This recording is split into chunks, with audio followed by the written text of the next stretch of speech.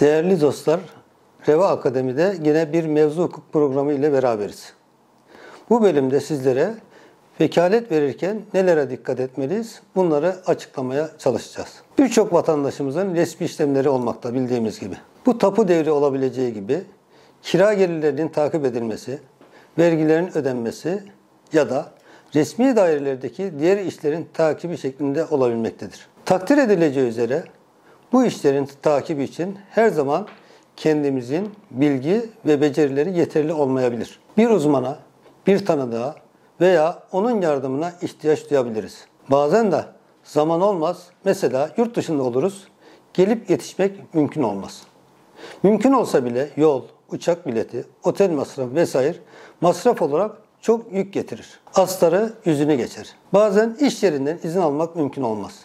Bazen de hepsi olsa bile işin acele olmasından dolayı vaktimiz yetmeyebilir. Uygulamada boş yere uğraşmamak, maddi ve manevi kayıplara uğramamak için genelde bir yakına veya tanıdığa vekalet verilmektedir. Ki işleri takip etsin, sonuçlandırsın. Vekalet verildiğinde her şey yolunda gidiyor mu? Bu sorunun cevabı her zaman evet şeklinde değil. Kendiniz bizzat yaşamışsınız veya duymuşsunuzdur. Falancaya vekalet verdim. Beni şu kadar zarara soktu şeklinde ifadeleri veya iyileri tenzih ederek hep söylediğim bir söz var. İnsana zararlar genelde yakınlarından, tanıdıklarından gelir diye. Niye? Çünkü insanlar tanımadıkları insanlara karşı az çok tedbir alırlar. Fakat yakın çevrelerine olan güvenden dolayı tedbir almayı, tedbirli olmayı ihmal ederler. İtimat kontrole mani değildir ve sen deveni önce sağlam kazığa bağla, sonra itimat ettiği hiç akıldan çıkarılamayacak iki güzel söz var. Dolayısıyla baştan tedbirimizi alırsak birçok sıkıntının önüne geçme ve sonrası yaşanabilecek muhtemel kötü şeylerin yaşanmaması imkanımız var. Vekalet verirken nelere dikkat etmeli? Vekaleti genel olarak vermek yerine sadece bir olay veya duruma mahsus olarak verebilirsiniz. Mesela sadece şu ada, şu pafta, şu parseldeki dairenin satışı için hatta şu bedelle yapmak üzere diyebilirsiniz. Paranın önceden şu numaralı banka hesabına yatırılması kaydıyla diyebilirsiniz. Vekaleti verirken vekaletnamede tevkil yetkisi yani vekil devir yetkisi vermeyebilirsiniz.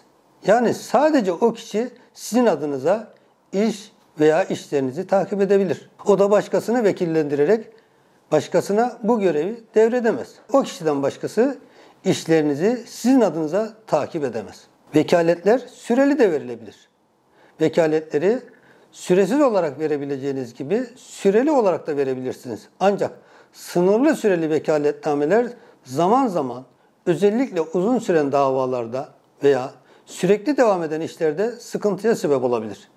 Vekaletin süresi bittiğinde vekilin yetkisi de sona erdiğinden vekil sizin adınıza işlem yapamaz. Bu durumda iş ve işlemlerinizin devamı için yeniden masraf ederek yeni vekaletname çıkarmanız gerekir. Vekaletin süresinin bitmesiyle işlemlerin gecikip yapılamaması bazen hak kaybına da sebep olabilir. Vekaletin süresiz mi, süreli mi olmasını değerlendirirken vekalet verilen kişi veya olaylara ayrı ayrı bakıp ona göre karar verilip ona göre vekaletname düzenlenmelidir. Unutmayalım, vekalet verilen kişi ya da kişilerin aynı yolla her zaman vekaletname, vekaletten azletme imkanı vardır. Atalarımız ne güzel demişler. Testi kırılınca akıl veren çok olur. Sizler testi kırılmadan tedbirinizi alınız. Bir dahaki programda görüşmek üzere. Hoşçakalın.